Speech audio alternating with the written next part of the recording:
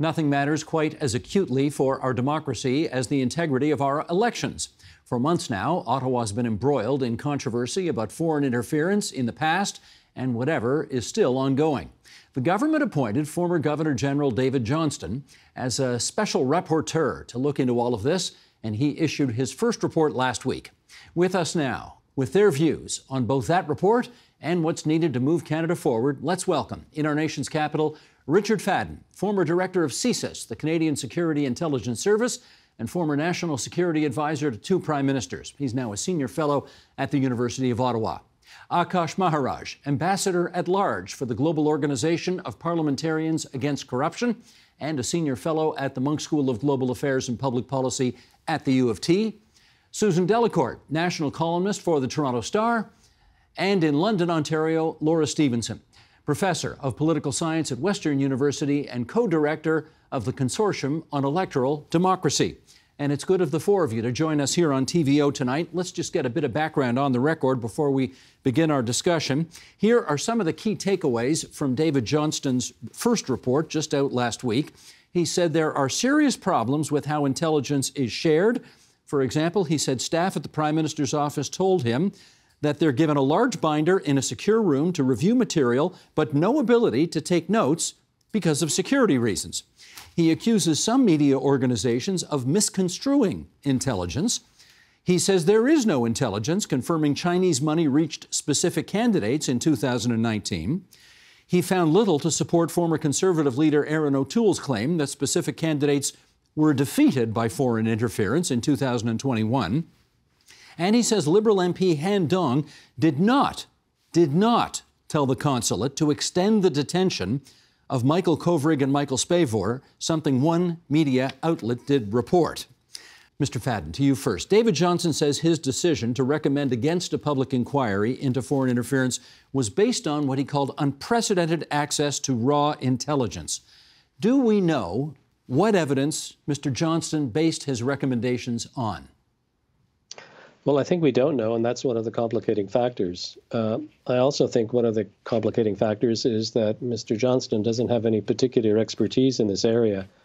You don't have to be a lifetime professional in national security, but he was given a very short time frame to look at material that's often very difficult to understand. Uh, first level intelligence, in particular, it's not valueless, but it has to be put into context, it has to be analyzed and thought about.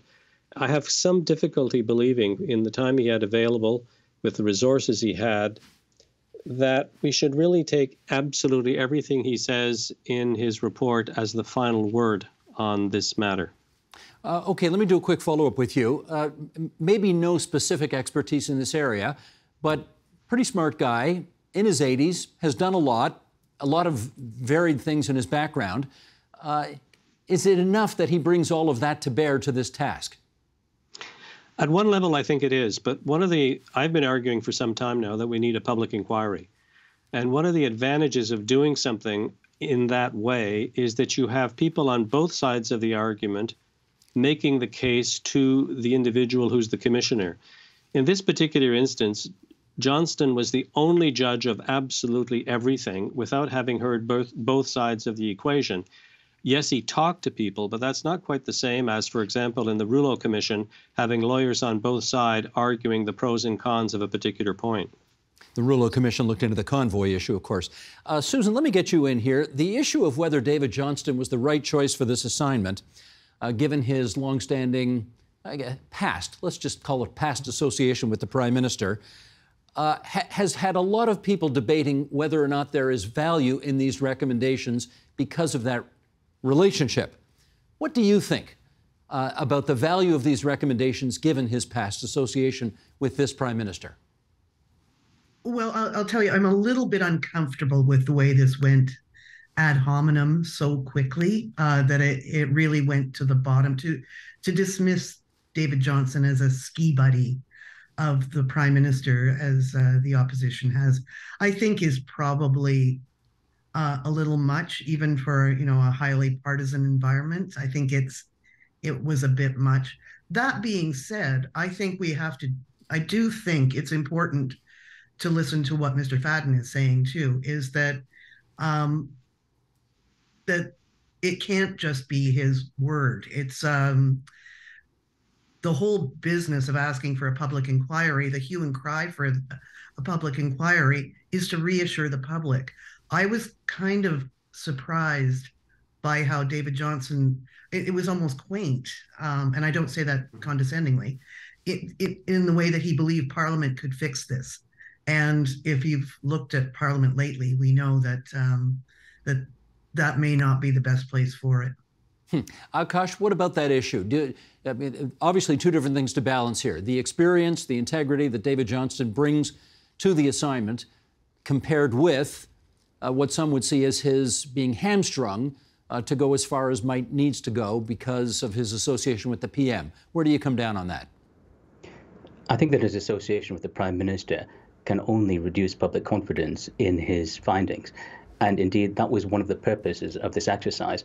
It was to reassure the public that if there have been issues, those issues are now in hand. There are clear connections between himself, between himself and Justin Trudeau. Uh, the Trudeau and Johnston families have vacationed together. He's a member of the Trudeau Foundation. He's described his grandchildren and Trudeau's children as being playmates, and Trudeau previously lauded him as a family friend. All this is not to say that he's not a person of integrity, but it is to say that in a highly charged environment where already people are doubting the integrity of political actors, naming him to this role is not going to augment public confidence in the findings. Moreover, he cannot balance that against saying that he was uniquely qualified to play this role. There aren't any particular skills that he has beyond personal integrity and personal judgment that could not have been supplied by someone else who does not have those connections. I would say that there's one other aspect that has not really come into public debate, but which I also I, I think militates against this choice, and that is that he is a former Governor General of Canada. He is still chair of the Rideau Foundation, and he still bears the title, styles, honours, and president, uh, precedence of a former viceroy.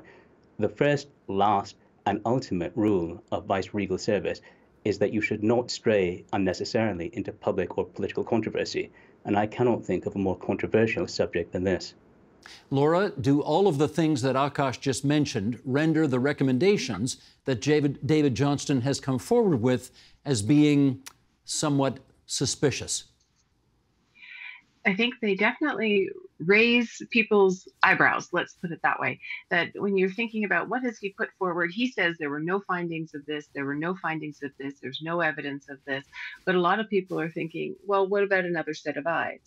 Now, he has recommended that two other groups, right, review all of the information he has and see what they think, if they agree with his recommendations. So there's that.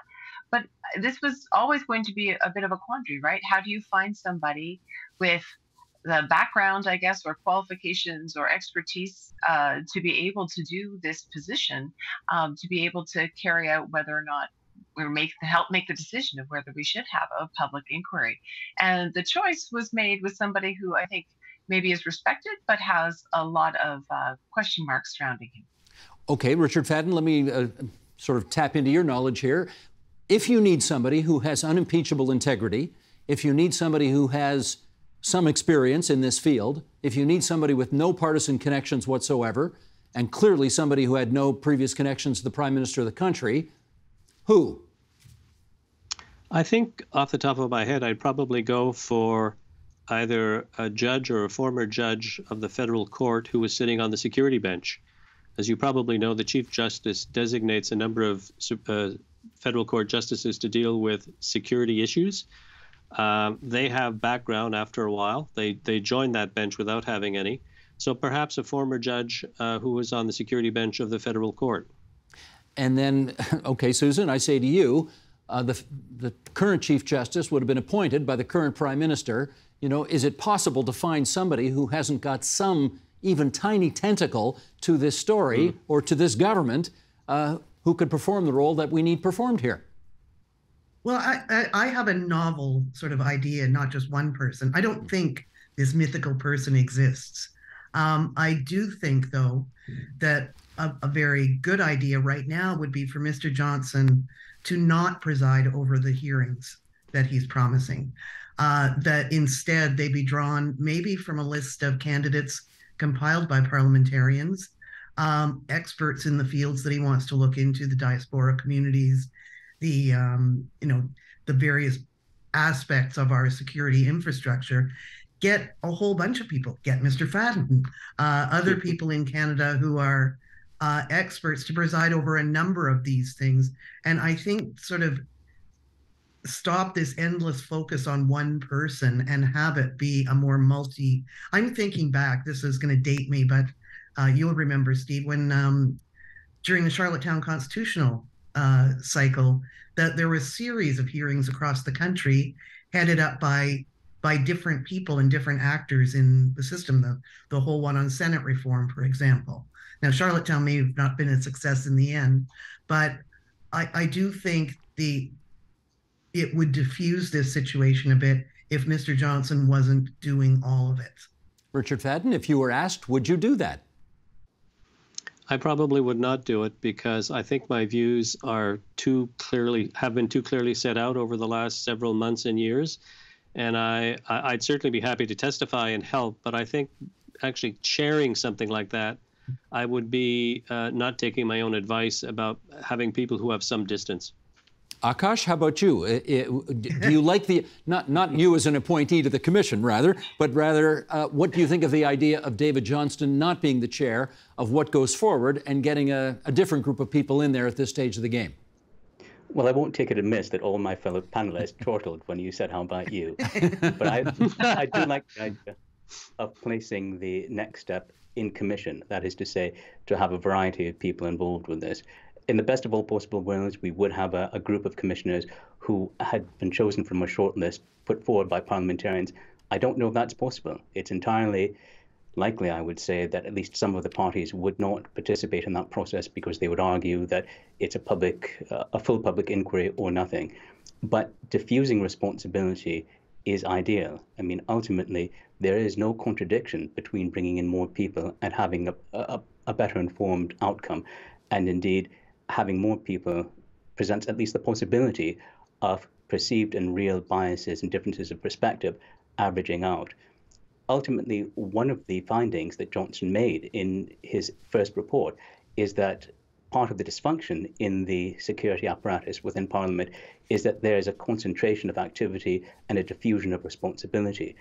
He could start in, by remedying that in the way this commission or this next stage of the inquiry operates, that is to have a diffusion of activity and a focus of responsibility. Laura, let me get you to comment on what the clearly all of the country that is paying attention to this was interested in, and that was whether or not Mr. Johnston was going to recommend a public inquiry here. He has not. Uh, we've heard Richard Fadden already say that he still thinks a public inquiry would be a good idea. Um, do you think Mr. Johnston made the right call? As he said, concern for security and intelligence information going public and therefore we're not going to have a public inquiry because of that. What do you think of that call? You know, it was really interesting as I was going through the report and, and thinking about this, right? Obviously, you know, doing what all the opposition parties were calling for uh, seems to be a sensible point to take. And then as I was reading it a little bit more, it was interesting. It struck me that perhaps, uh, in fact, what he was doing is prioritizing a public uh, sense of this, right? He makes a lot of in the report about making uh, an inquiry having to be in camera and not being to be able to be as transparent or as public as people may want. And I was thinking about this a little bit: is why might that be so important? But I think, as was already mentioned, right, whether or not the opposition's parties would actually uh, take part um, in some of these decisions, right? Even in choosing maybe a variety of people to to lead uh, hearings, for example, could be part of it, right? So the more that is public, the less that can be said is happening behind closed doors, uh, or can be made of what might be happening behind closed doors that people might not know about. So I'm not sure it's the right choice, but I think it's the motivation behind it might actually be very much rooted in kind of what I guess Susan was pointing out, right? The instant attacks right away, the way that the different uh, parties seem to be coming at this from partisan angles. So there's importance of public transparency. Yeah, Susan, can I get you to comment on this on this uh, particular angle of the story? That is to say, uh, the government has offered the opposition leaders complete access to the intelligence that's at the root of all of this. They'd be sworn in uh, and allowed to see this. Of course, they would not be allowed to talk about it afterwards. Um, most of the, I guess, the bloc leader and the uh, official opposition leader have said, forget it, you're trying to suck us in, we're not going to do that. Uh, I gather the NDP leader is open to having that happen. Where do you come down on all of that? I I was surprised by two things the day of the report. I was surprised by the fact that Mr. Johnston didn't hold a public inquiry, as Laura was referring to there, but I was also really surprised, and maybe it's uh, my naive uh, optimism. I was surprised when the opposition leaders, the two opposition leaders, turned down the chance to read what was in the, the documents and calling it a trap. And, uh, you know, as I said before, how low this went.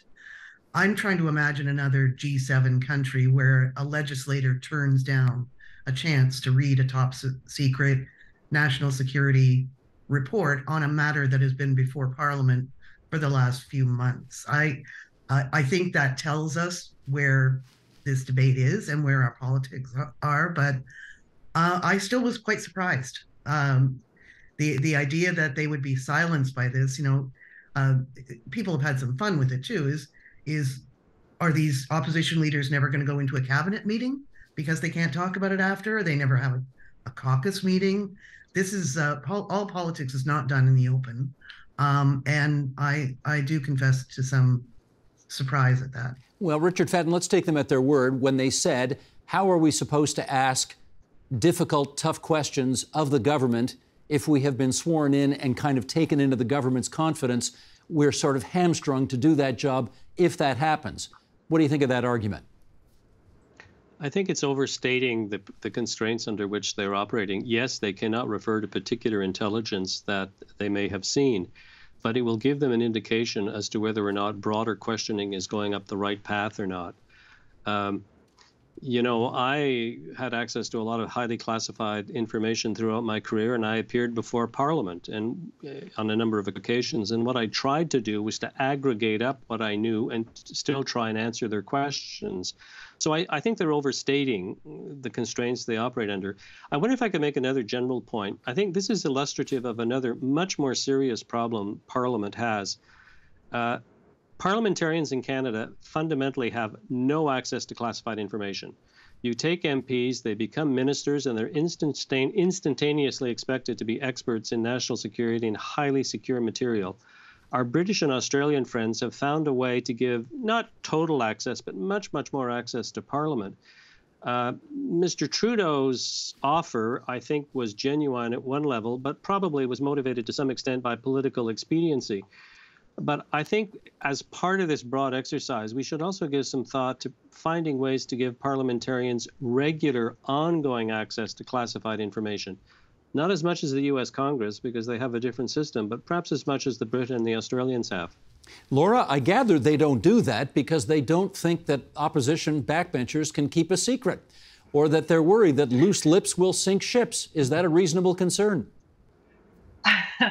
well, I, I, don't know all the uh, nuances behind these decisions, but I, I think uh, the fact that we've had these leaks right now would suggest that some of the concerns might be somewhat founded. I mean, I'm with Susan. I was surprised that they didn't, uh, you know, take up the offer to be able to look at these documents, and it just speaks to this culture of not working together. I guess like just so highly partisan that it's you know this is a, a really big concern that we should be dealing with at the parliamentary level um, as a nation, and instead what we're seeing is concerns about who gets to say what when and I'm a little worried that we're going to be losing sight of the bigger picture because we're worried about leaks or worried about who's saying this or who's saying that rather than trying to actually, you know, work to protect the integrity of our democracy. Well, I'm going to take your advice and move on to the bigger picture here. And I guess, it, you know, the bigger picture here is not just this government, but Canadian governments in general, are they as attentive to matters of national security and protecting our democracy from foreign interference as they should be? Akaash, you've been watching the national scene for a couple of decades. How does it look to you? They are absolutely not um, sufficiently attentive to these issues. One of the conclusions of Johnston's initial report was that information was being provided to the PMO and to cabinet, but it wasn't being being read because it was being provided in a format or in a way that political staffers and ministers themselves found to be difficult, impenetrable, impenetrable or onerous I don't think that that exonerates them in any way, shape, or form, because ultimately, this is their system. If the system was such that they did not feel they were able to get a grasp on what they were being told by the security security services, it was their responsibilities to fix that and to fix it before it became a matter of controversy. Yes, there are black binders that are full of undifferentiated information. You have to do your homework. If you're in high school, you should have to do your homework if you're in, if you're in cabinet. And if the nature of that information being relayed to you is again impenetrable, you have the power that is necessary to ask for that information in, a, in an alternative form. I think we also have to bear in mind that foreign interference in democratic elections is not the exception, it is the rule. Of about 200 countries in the international system, perhaps as few as 25 of them are full democracies. That means that the vast majority of, of countries in the international system are non democratic and are hostile to democracies. It is in their interest, not just in China, but in every other totalitarian state, to make the case that democracies cannot succeed, democracies will always fail, and to project their power into democracies in an attempt to do that. We have to be, bear in mind, as one of the few democracies in the world, that we will always be beset by an ocean of enemies of democracy, and we have to take that seriously. I see no evidence that that is being taken seriously. Well, having said that, Richard Fadden, I'll go to you on this. No known interference from China, says the report. You buying that? No, absolutely not. I think that's dead wrong. Can I back up a little bit and, and make try and explain why I think this government and previous governments don't spend enough time on national security? Sure. We don't feel particularly threatened in Canada. We have three oceans and we have the United States. So, as a country, we don't worry a lot about national security and we don't think a lot about it. During the course of the last two federal elections, the issue foreign defense and security policy did not come up once. I think that's wrong because there are real threats against Canada, both the terrorist side, foreign interference, foreign espionage is now worse than it was during the height of the Cold War. We don't have a national security culture like all of our allies do. And I don't quite know what to do about it except to expect our national leaders to talk about this more in a, in a reasonable manner. But until uh, they see votes in national security, with the exception of real crises, I think when there are real crises, we do respond fairly well as a country. But until there are votes in national security, politicians are going to pay more attention to economic or social policy added to this is the realization, I think, that every prime minister comes to office with a with a particular area of interest. I think it's beyond reasonable debate that Mr. Trudeau's is social policy. Mr. Harper, I think, you could probably argue, was economic policy. But having said that, we elect them to worry about all of our challenges, not just the ones they're particularly interested in. But there is, I think, an explanation in the fact that, broadly speaking, we don't feel threatened. And that has a real impact on the amount of time and effort that people are prepared to put into these sorts of things. But I really agree with the, my pan, co-panelist's previous point. If ministers and prime ministers don't like what they're getting from the national security agencies, they only have to live, raise the smallest finger, and they'll change what they're getting and how they're getting it. Hmm. Susan, you've seen more than a few governments come and go, and I'm curious as to whether or not you think this government is is any more significantly lax than others as it relates to their interest in foreign interference on our democracy? No, I don't think so. I, I, you know, I like the other panelists. I haven't seen any evidence of of previous governments being concerned about this. I think you know we're isolating this to to maybe the issue of China interference because it's in the media and on the front pages. But when you think about it, uh, since the convoy, at least, we have been worried about the integrity of the system. Uh, we have been worried about uh, our democracy getting messed up by outside influence. I recall Fox News uh, in the United States trying to whip up uh, intimidation of elected officials around the convoy. So, you know, we, it is a very uh, hostile environment right now to be a politician. I think all parties should be seized with this, not just from state actors, but from non-state actors, from internal uh, problems, et cetera. I think this is just the tip of the iceberg. And I think we're venting it over the issue of China interference, which is serious, but we're not considering other countries and also the, the, the threats within, if that doesn't sound too melodramatic. Akaash, did I hear you trying to get in earlier? I was just going to take a, one point. You said that the report found that there was no interference from China. That's not exactly what it said. It said that there was no successful interference from China. In other words, Johnston did confirm that there were efforts or plans that were being contemplated by Chinese state actors to interfere in our elections, to pass funds to specific candidates, but he did not see any evidence that that had actually happened. What that means, in effect, is that to the extent to which there was no Chinese interference in our system, it was because the Chinese lost interest or, beca- or their, their attention wandered. It was not because of any defensive or remedial actions by the intelligence services or by the government.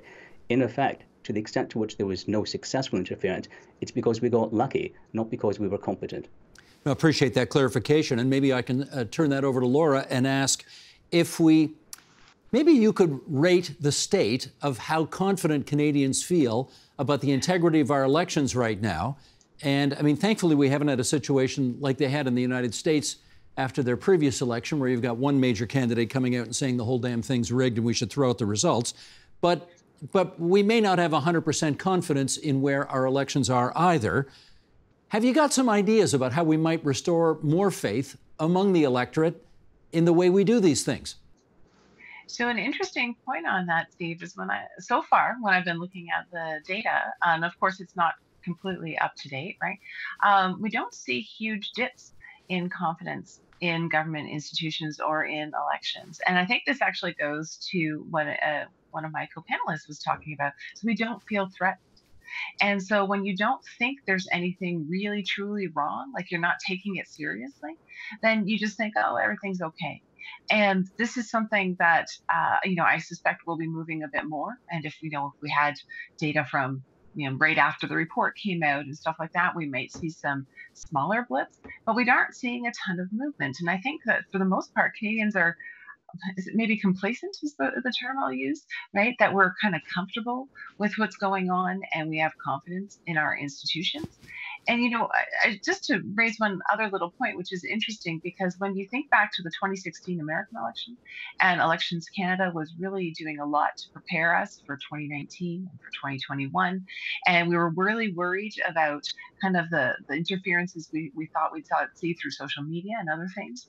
And then when we, you know, look at what's actually being discussed in terms of interference, it's a lot more kind of, I'll call it old school, right? It's like funneling money through one person to do something for another person. It's a lot harder to track too right? We have laws against uh, election finances if they're coming from, you know, um, non-Canadian persons.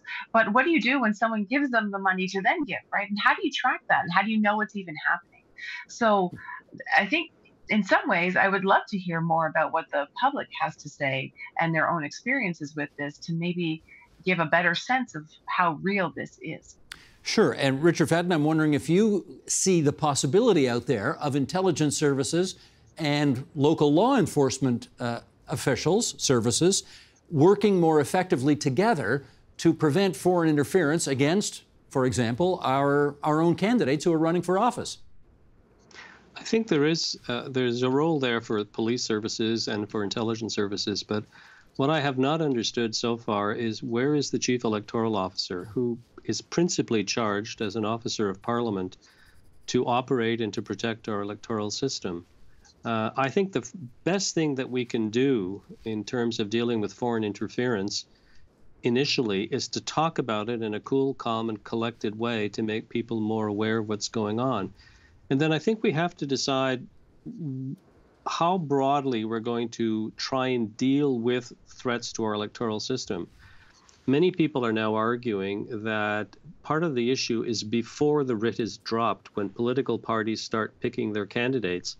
I've argued uh, in a couple of occasions that we should try and, and, and find some way to deal with that issue and a few political people that I know have sort of said, Are you mad that you're going to the core democratic process? The last thing we need are a bunch of bureaucrats or spies mucking about in there. I understand that argument, but maybe there's a role there for the chief electoral officer or for legislation imposing upon political parties a duty of exercising some due diligence, you know, and relying on some sorts of information. So I think it's possible to reduce our risks. But this is not like, for example, terrorism. There's no smoking gun here. This is going to be a very difficult issue to deal with because proving it, there's no possibility of proving it to the level of, you know, the criminal law. So we're going to have to decide how much information about this sort of activity we're prepared to take uh, before we act. I think our general tendency in Canada is to try and be so fair when we accuse anybody of anything that if we apply it exclusively to this area, to the area of foreign espionage and foreign in- interference, we're not going to make much progress. Hmm. Susan, what do you think of that idea, getting the chief electoral officer much more engaged on this file? Yeah, I too have been uh, wondering where that voice is in all of this, uh, and and where it has been. It's uh, it's a it's almost like we don't trust the institutions to deal with the problem we have before us. And Parliament is making it that case as well that it's it's not able to handling it. So do we have to invent something new? Do we have to mm. have maybe somebody uh, more more bureaucracy? Do do we need another layer of um, of oversight at Elections Canada? I don't I don't have the answer to that, but it's um, but I do think the more attention to this, the better. Well, and David Johnston has certainly, Akaash, uh, shone a light on this aspect in his report. Uh, he very much wants those affected uh, in diaspora communities who are the targets of foreign interference uh, to be to be better protected somehow. Any thoughts about how about how that might be done, or even whether that can be done? It certainly can be done, but it can't be done as an afterthought. I saw no indication in his report that he actually spoke with diaspora communities or organizations representing them. Instead, that he simply added this on as a sort of codicil. To the extent that diaspora communities are an afterthought in the security apparatus, they will always be a vulnerable point.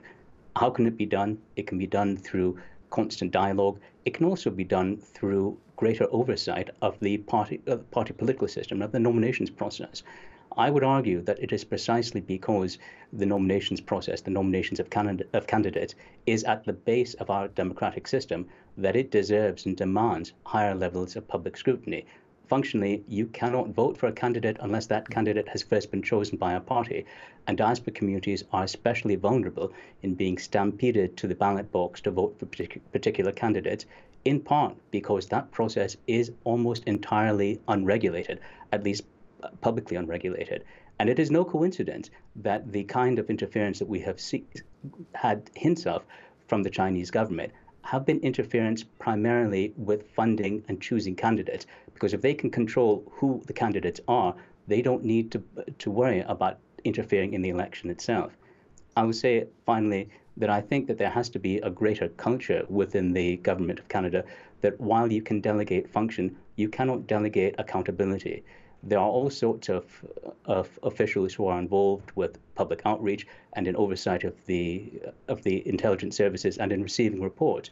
The government seems to think that because there are so many fingers in this pie, it holds less responsibility and less accountability. That's not the case. You can ask people to carry out functions for you, but you cannot ask them to carry accountability for you. It is your responsibility, and it is both unsustainable and vulgar to see some of the most powerful men and women in our country trying to excuse themselves with pleas of ignorance and impotence. Having said that, and I'm down to my last 20 seconds here, unfortunately, Susan, we got one member of Parliament, Han Dong, we got one member of the Ontario legislature, Vincent Ke, who've had terrible allegations made against them, and there's every indication that those allegations are false. What should happen to them now? I, I, I won't be surprised if Mr. Dong, I won't speak to, uh, to Mr. Ke in, uh, in Queen's Park but I, I would not be surprised to see uh, Mr. Dong back in the Liberal caucus. Gotcha. I want to thank the four of you for coming onto our program tonight and shining a light on a really troubling issue, which uh, I think the four of you who have articulately spoken to the need for more attention to. Richard Fadden, Susan Delacourt, Akaash Maharaj, Laura Stephenson, thanks so much for coming onto TVO tonight. Thank you. Thanks. Thanks. The Agenda with Steve Paikin is made possible through generous philanthropic contributions from viewers like you. Thank you for supporting TVO's journalism.